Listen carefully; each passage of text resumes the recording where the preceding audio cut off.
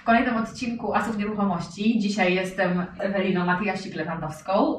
Um, opowiemy sobie troszkę o tym, czym zajmuje się homestager, bo Ewelina jest homestagerką, projektantką wnętrz, inicjatorką spotkań nieruchomościowych. E, kobieta wielu talentów, wielu pomysłów, tym bardziej się cieszę, że jesteśmy dzisiaj razem. Dzięki. Ja również dziękuję za zaproszenie. I powiedz Ewelina, bo już tak jakby przy Twoim zawodzie projektanta, przy Twojej e, marce Chasing the Sun, zalajkujcie w Instagram, bo przepiękne tam Ewelina wrzuca swoje realizacje. Dzisiaj też jesteśmy ogóle we wnętrzu, które zaprojektowałaś. Tak. Powiedz tak naprawdę, z czym do Ciebie zwracają się najczęściej klienci? Jak Ty pomagasz ludziom w ubarwieniu ich świata? E, zależy tak naprawdę, e, jak, jacy klienci się do mnie zgłaszają. To są bardzo różne osoby. E, to są zarówno pośrednicy nieruchomości, którzy na przykład potrzebują pomocy w sprzedaży jakiejś kłopotliwej czy nieoczywistej nieruchomości. Albo na przykład dużej i wymagają dużej, tak. podkręcenia, tak? Dokładnie, czy też bardzo mocno spersonalizowanej, bo tutaj depersonalizacja też ma duże znaczenie. Jeżeli zgłaszają się do mnie osoby prywatne, które chcą na przykład ocieplić swoje mieszkanie, czy coś po prostu zmienić, a nie do końca wiedzą, w którą stronę, e, którzy chcą się czuć jak na Instagramie, no to, to jakby w zależności od tego, kto się do mnie zgłasza, tak staram się znaleźć najlepsze rozwiązania. Super, czyli e, powiedzmy, że mogę w moim mieszkaniu zaprosić Ciebie i Ty je przearanżujesz, tak? Z przyjemnością. A jednocześnie, jeżeli kupię mieszkanie, które będę chciała szybko wynająć, również Ty możesz zaprojektować. I to chodzi o projekt tak wszystkiego, czyli meble, dodatki, e, cały klimat, oprawa okien, kolory ścian. Tak. E, mamy właśnie też zaufane ekipy, z którymi od lat współpracuję, więc taka kompleksowość jak najbardziej wchodzi w grę. E, czy też na przykład wymysł, jeżeli mówiłaś o wynajmie, to długi czy krótki termin te nieruchomości rządzą się innymi prawami. Tak. E, więc w zależności od tego tak naprawdę z czym kto przychodzi, aczkolwiek ze względu na to, że mam też to doświadczenie pośrednika, to czasami staram się przearanżować myślenie i coś, co ktoś potencjalnie chce przeznaczyć na przykład na wynajem długoterminowy, podzielić na mniejszą e, ilość kawalerek czy pokojów na wynajem i każdy zaaranżować w innym stylu, bo to po prostu przyniesie lepszą stopę zwrotu. Okej, okay, a powiedz mi, jeśli chodzi o nasz homestaging, który my tutaj uprawiamy na naszym rynku, bo mówimy o poznańskim, ale pewnie też realizację robisz też poza Poznaniem, tak. obserwujesz jakby tutaj te różne mm, nurty i, i, gdzieś tam tą skalę tych zastosowanych rozwiązań. Czy na świecie, czy ten homestaging powiedzmy amerykański, bo stamtąd się wywodzi, czy to się bardzo różni od tego, który my robimy na co dzień? E, myślę, że różni się. E, ze względu na to, że po prostu świadomość zawodu jest dużo większa. U nas to jest e, zawód, który dopiero powiedzmy przeżywa taki malutki rozkwit.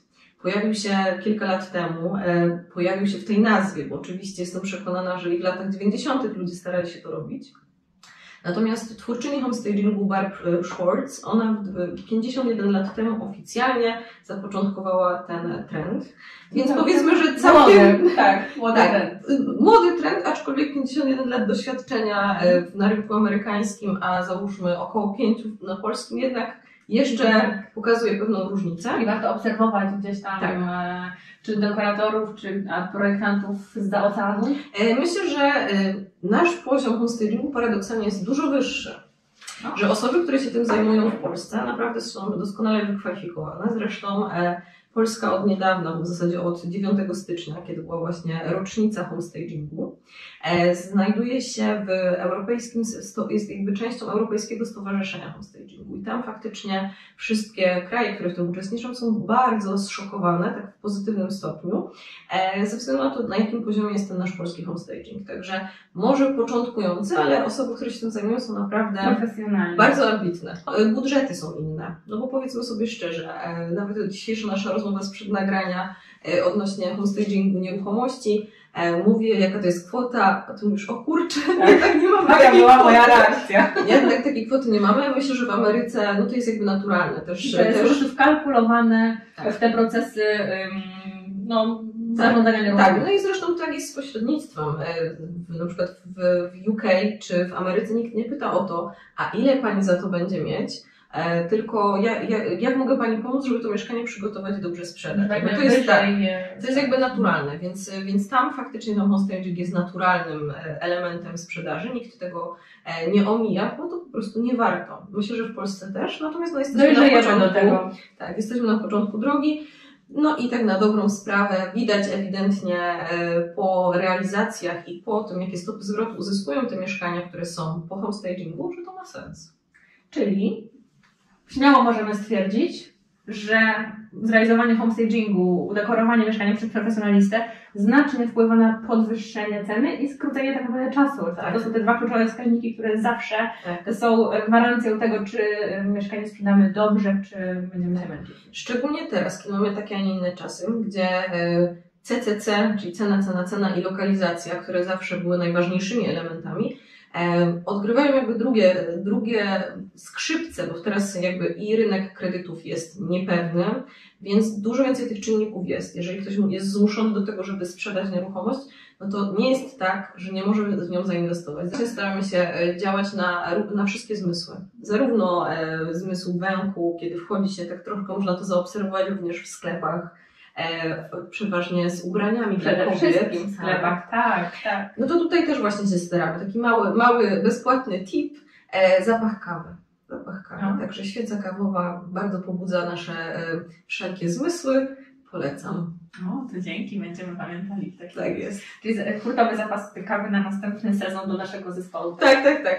tak najlepiej właśnie, jak często zauważam wśród pośredników, że już chodzą z kubeczkiem kawy, a to tak naprawdę jest zapach, który jest e, gdzieś tam w powietrzu, no ale wtedy nie ma takiego pytania, a skąd ten zapach? No bo to też ludzie są dosyć e, podejrzliwi, tak? Tak, to prawda nie, nie lubimy być nakryci na tym, że coś tak, tak, tak. zamarkowaliśmy. Więc, więc, właśnie dużo jest takich, e, takich elementów, aczkolwiek jakby w homestagingu nie chodzi o to, żeby coś zakryć, ale żeby wydobyć jakby najpiękniejsze elementy. Bo wiadomo, że dom, który e, kupujemy, to jest dom dopiero od momentu, kiedy my tam zamieszkamy. Kiedy wprowadzimy tam swoje ciepło, swoje e, hobby, swoje jakby małe rytuały, dopiero wtedy staje się domem. Natomiast to, co my chcemy pokazać, to jest jakby stworzenie przestrzeni, której możesz wyobrazić, że będziesz czuć się dobrze. Mhm, czyli y, podstawową, podstawowym pierwszym zabiegiem, tak jak wspomniałaś, jest to odpersonalizowanie, czyli jakby usunięcie rzeczy poprzednich właścicieli, aby ten nowy mógł tam ujrzeć siebie. Dokładnie. To jest jakby, e, to jest powiedziałabym drugi krok. Pierwszy to jest posprzątanie. Tak, to jest posprzątanie często, często gdzieś tam um, spotykamy się na pewno też w swojej zawodowej karierze, miałaś styczność. O, nie raz? Wiadomo, że nieruchomości są różne, bo historie ludzi są różne. Czasami to są e, ciężkie rozwody, czasami to są gdzieś e, śmierci. Jakby nieruchomości, tak jak my, no, pewne rzeczy są takie, a nie inne, no i to się to należy przyjąć, przejść i jakoś prostu przygotować. E, Ewelina, słuchaj, teraz jesteśmy w drugim pokoju, który tutaj pięknie zaaranżowałaś, a skórki nam tutaj latają, więc chciałam Cię zapytać o taką trochę kwestię E, no właśnie Twojego zawodu i tego wyczucia. Czy być takim dobrym projektantem to jest tylko warsztat i wszystkiego możesz się nauczyć? Trzeba jednak to poczuć, mieć to coś w sobie i, i gdzieś tam dla niektórych osób będzie to nie do przejścia. Ciężko mi się wypowiadać za innych, natomiast zważając na to, że z zawodu jestem prawnikiem, no to myślę, że to nie do końca jest związane z zawodem. Czasami mogą być dwie osoby, które spojrzą na to samo wnętrze całkiem inaczej, e, więc myślę, że no jakieś takie zamiłowanie do wnętrzy jest wymagane. Aczkolwiek e, są osoby, które uczą się tego bardzo warsztatowo i też robią to poprawnie, więc... E, Bo widzimy teraz mnóstwo kursów oferowanych, tak. branżowych. Przez internet, przez Instagram, wyzwania jakieś, bądź mhm. homestagerem w 30 dni. No i tego nie widziałam. tego nie widziałam. E, właśnie nad tym, czy rzeczywiście tak jest, że każdy, kto powie sobie, ok, ja będę homestagerem, e, czy on jakby jest w stanie poczuć to wnętrze, czy jednak wymaga to większej ilości doświadczenia i, i tego, tej wrażliwości? Myślę, że doświadczenie w każdym zawodzie jest kluczowe. Bo jednak ja czasami śmieję się z tych realizacji pierwszych, które gdzieś tam realizowałam. To nie tak, że nie przybiłabym sobie piątki, bo staram się, żeby zawsze było to tak, żebym mogła się tym pochwalić. Natomiast no, pewne rzeczy mogłabym zmienić. I wiadomo, że tak jak człowiek się rozwija, gdzieś tam dokształca, czyta i też chodzi na różne kursy. Znam osoby, które zajmują się stricte mm, biznesem i ekonomią, a są wspaniałymi pośrednikami, dlatego że oni sobie na przykład dokładnie kalkulują. Więc jakby z innej perspektywy. Wykorzystują wiedzę tak, z jakby, tak, ja na przykład, tak, ja na przykład bardziej podchodzę do każdego projektu indywidualnie, tak bardziej od strony artystycznej. No i czuję się, że to są moje dzieci i że jakby chcę, żeby to wyglądało idealnie, bo myślę, że każde mieszkanie ma swój indywidualny charakter i dlatego staram się taki wprowadzić. I w takich mieszkaniach na e, sprzedaż, to jakby ciekawe jest to, że to ja kreuję całe wnętrze, więc to jest jakby część mnie, która gdzieś tam się wytwarza i powstaje. Natomiast w takich e, projektach dla klientów indywidualnych to też jest fantastyczne, bo ktoś mnie zaprasza do swojego świata. E, I tutaj na mieszkaniach właśnie na wynajem czy na sprzedaż to jakby ja mogę decydować. E, o pewnych rzeczach, natomiast w innym wnętrzach muszę słuchać. I to też jest bardzo fajne. Bardzo lubię te projekty, bo to pokazuje też jakby bogactwo nas jako ludzi to, co każdy ma w sobie i każde to mieszkanie jest inne. Tak, i nie pozwala tobie też oprzeć o jakąś kartę, którą byś tak. wrzucała za każdym razem, bo... I dlatego to jest, jest ciekawy zawód. Powiedz Ewelina, jakie są takie obecnie trendy, takie hot we wnętrzach, mhm. czyli co jest najbardziej modne, co będzie takim hitem, w co warto pójść, żeby na przykład powiedzieć, ok, moje mieszkanie było e, super modne. E, no tutaj bym oczywiście dała taką gwiazdkę, żeby zastanowić się, czy chcemy, żeby nasze mieszkanie było super e, modne, czy chcemy, żeby było super wygodne, bo to jednak to jest według mnie klucz i powinno tak być. To znowu wracamy do natury. Znowu gdzieś tam chcemy tych wnętrz takich cieplejszych, naturalnych, gdzieś pojawiają się tak jak były szamna betony, to teraz chcemy mieć zacierkę taką naturalną, na przykład na ścianie. Wracamy do obłych zmysłowych kształtów, nie chcemy kantów żadnych. Króluje już w zasadzie od jakiegoś czasu styl japandi, czyli połączenie takiej naturalnej, skandynawskiego ciepła z prostotą i minimalizmem japońskim. Wow, to, to, Japandi. Japandi, tak. Bar, piękny styl, myślę, że jeden z moich ulubionych. E, teraz też właśnie w kuchnie bardzo są ciekawe, bo są takie zaokrąglone, taki trochę modernizm, więc takie zmysłowe, obłe kształty. E, są też takie trendy, właśnie jak wspomniałaś, na przykład Dark Academia, czyli mieszkania bardzo ciemne. E, nie wiem, czy ja odważyłabym się w takim mieszkać, szczególnie, że mam małego brzdąca. Gdybym była mężczyzną i lubiła cygara, to myślę, że by mi to odpowiadało. Natomiast wiadomo, no jakby też jest fajne to, że tymi stylami w naszym mieszkaniu powinniśmy się bawić. Powiedz Ewelina, bo Ty organizujesz spotkania wokół pięknych wnętrz. Tak. Opowiedz trochę o tym projekcie. E, spotkania wokół pięknych wnętrz e, narodziły się mm, z takiej mojej wielkiej chęci mm, angażowania i e, łączenia ludzi. I tutaj wraz z moją przyjaciółką Joanną Zbytek-Szubą chciałyśmy, jakby poczułyśmy taką, takie pragnienie stworzenia przestrzeni dla homestagerek, dla projektantek, E, dla mężczyzn również, także zapraszamy, e, które mogłyby się wymienić e, doświadczeniami, wiedzą, wskazywać sobie na przykład, no nie wiem, źródła darmowych informacji, jakieś takie szkolenia. Na przykład bardzo dużo pośredników do nas przychodzi, którzy chcą się czegoś nauczyć, którzy chcą się czegoś dowiedzieć. Gromadzimy też inwestorów, które na przykład mają za sobą 40 flipów, które właśnie robią to z zamiłowania do piękna, prostoty. Każdy projekt jest inny, każda osoba jest inna i dlatego to jest takie ubogacające. Byliśmy zaproszeni do Zielonej Fabryki w Gnieźnie, gdzie tutaj Małgosia Pełczyńsko prowadzi wspaniałe miejsce. Serdecznie polecam wszystkim projektantom, ale też pośrednikom. Małgosia jest bardzo otwarta. E, to jest takie miejsce, gdzie są zarówno kwiaty, meble, dekoracje. No jest po prostu przepięknie. I tam mieliśmy warsztaty mm, stworzenia kompozycji z suszu.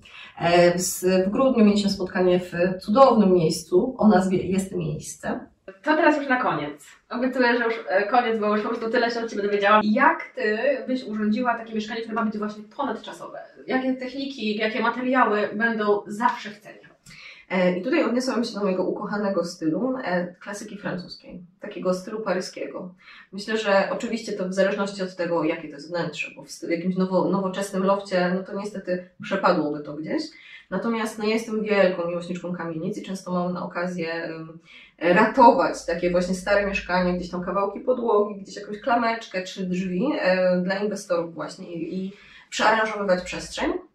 E, I właśnie uważam, że taki styl, który właśnie w kamienicach był reprezentowany, czyli deski na podłodze, biele, jakieś takie różne odciele, odcienie e, jasne, naturalne materiały, czyli to, co było kiedyś, kiedy przestaliśmy patrzeć na byle jakość, wtedy właśnie to, co było kiedyś, trwałe materiały, zdrowe materiały, bo to jednak o to chodzi, tak, żebyśmy się dobrze czuli, żeby to nasze mieszkanie, tak jak w kamienicy, oddychało razem z nami. Także myślę, że takie, nie wiem, jodełka francuska, E, czy, czy właśnie e, berlinecka deska, po prostu takie elementy, które sprawiają, że dobrze się czujemy. zawsze tak. będzie w cenie. Tak. Nowe, ja tak myślę. Nowe trendy, gdzieś tam takie szałowe elementy, to są znaczy, chwilowe. Tak, no, to, jest, tak, tak, to jest fajne, tak, że można sobie vivo magenta, tak, czyli, czyli właśnie tak. rzucić poduszeczkę, kubeczek, zrobić sobie przyjemność, natomiast myślę, że te takie naturalne materiały, kolory takie pięknie opływające, na których ładnie e, załamuje się światło, myślę, że to jest e, kluczowe. I zdradzę jeszcze mały sekret, że ulubionym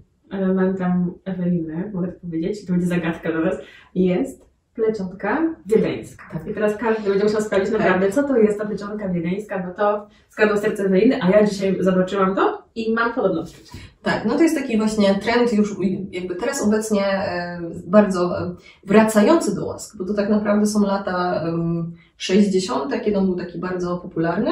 Natomiast e, no teraz od zeszłego roku stał się na nowo takim hitem wnętrzarskim.